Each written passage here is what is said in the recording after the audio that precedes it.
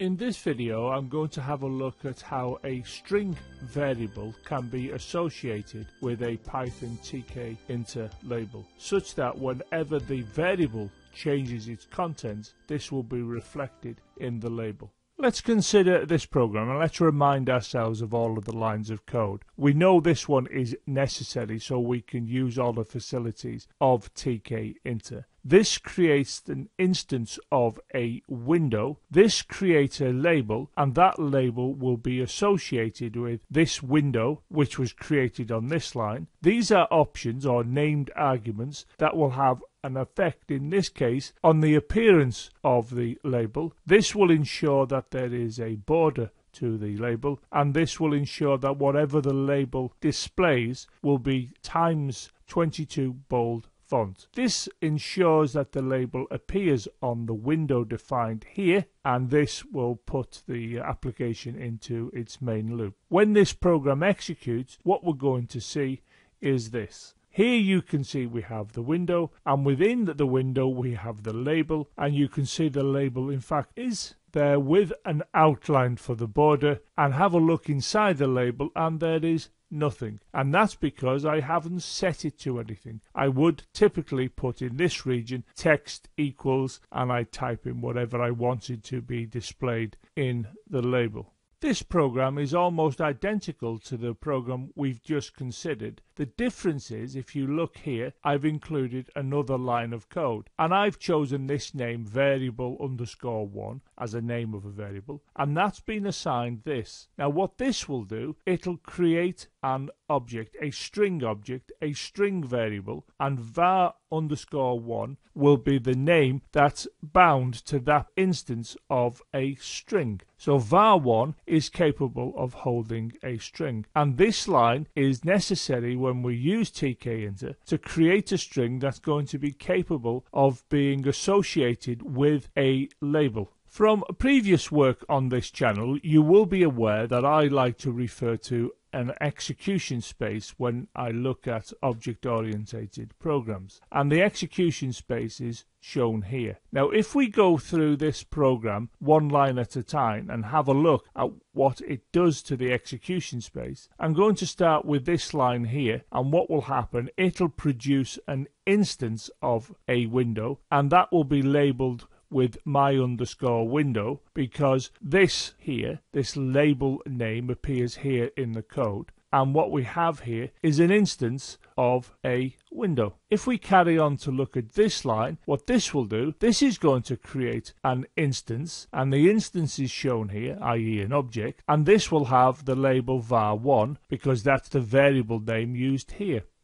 Now this creates an instance of a label that will have the name label underscore one. Now it would be possible to show this within the execution space below but I think it will clutter the images. So what we need to say is that this will create an object and that object will in all effect be inside this object here. Why this object? Well, this is the window, and you can see we're associating this object with this instance using this word here because this is the name of the window that was created on this line, as you can see here.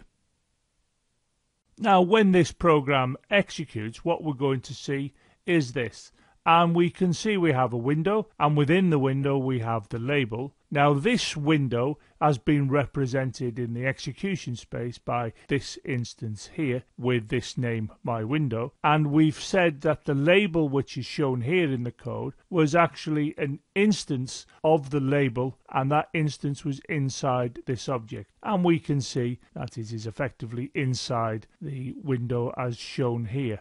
Of course, we also have this instance here, and this is put into the execution space because of this line of code here. It's just that there's no visual presence for this instance on the window. It just happens to exist in the execution space in its own right. This program shows an amendment to the one we've just considered and the amendment is shown on this line and we can see that this line is a message. Now I'll come back to what that means in a moment. When we execute this program we know we're going to have an execution space and of course this line of code will create an instance in the execution space and that instance will be appropriately labeled. This line of code will create another instance and this one will be appropriately labeled labeled. And of course here we're going to create an instance of a label and that instance is going to appear within this object here, within the instance of the window. This then will pack and we'll have a visual representation of the label within the window as you can see here. But of course this will have no visual representation, it just exists in its own right within the execution space. Now what this is doing, it's sending a message because we can see we have dot notation and the message is going to this object and it's going to invoke this method. So if we look to the execution space, we can see that I'm going to model that message as shown here and the message is going to set and what we're passing in quotes as an argument is hi. and of course it's going to this object because it's got the name var1 and that's the name that appeared here now when this object receives this message the object will respond by executing the set method which I'm showing here and of course the set method will simply take this string hi and store it within the object. At the moment this object has no link with any of the other objects in the execution space. For example, this label, the instance of this label, has no knowledge of this instance, this variable that holds the string hi. This program shows an amendment to the one we've just discussed and the amendment is shown here and if you look it says text variable is assigned var underscore 1. What this entry has done, what this named argument, what this option has done, it has linked this object to this variable. So when we now perform this message here, what will happen is the label will be informed internally that the variable 1 has been set to a value. Consequently, the label will show that change to the value stored inside var1. So when this program executes, we're going to get the execution space, and this line is going to be responsible for creating an instance of the window, which we can see here in the execution space appropriately labeled. This is going to do something similar. It's going to produce an instance that will hold a string and that too will be appropriately labeled. Now this is going to produce an instance of a label and this will be similar to the ones we've seen to date in this video except when we create the instance here we're going to be setting this option where text variable will be assigned assigned var1 and it'll mean that this instance will be able to see, will be able to have access to this object here. So this object still exists in its own right, but it now can be seen by the instance of this label. So when this line of code executes, which is a message to this object, and we can see that message occurring here in the animation,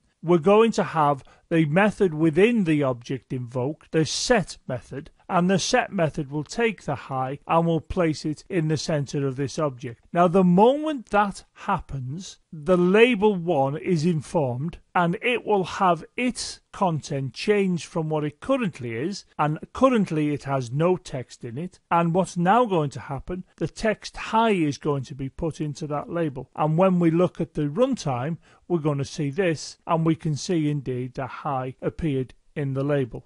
Let's say you have a program that performs some calculations and you wish to display the result of those calculations on a label within a window.